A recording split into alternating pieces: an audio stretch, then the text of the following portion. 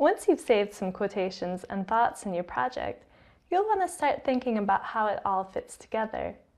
Use the knowledge organizer to start making connections. We recommend creating a category system in Citavi when you first set up your project. Think of the category system as the outline of your future paper. As you read and save quotations, assign categories to them.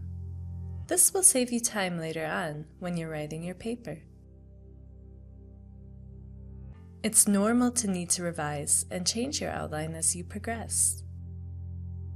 To add additional subcategories, click the category and then click New Subcategory.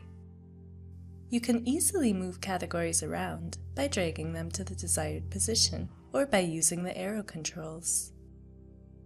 Click All to see all the knowledge items in your project.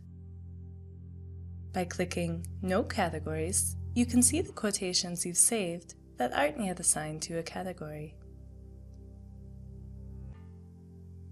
In the middle, the core statement is displayed, with the preview containing the entire quotation on the right.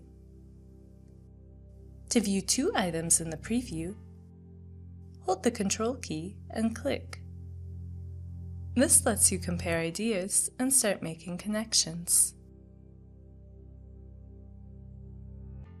To add an item to a category, simply drag it to the category. For better organization, you can insert a subheading and then you can drag it to the desired position. You just learned how to make connections between your knowledge items using the Knowledge Organizer. To find out how to do even more with Citavi, check out our other videos.